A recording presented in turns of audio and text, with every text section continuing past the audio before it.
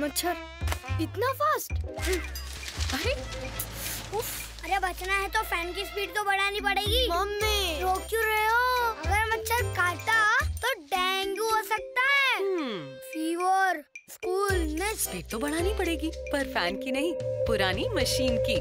नया model Insta five इसकी Insta action technology करे सिर्फ़ पाँच मिनट में खतरनाक डेंगू मच्छरों को शू पाँच मिनट में डेंगू मच्छर शू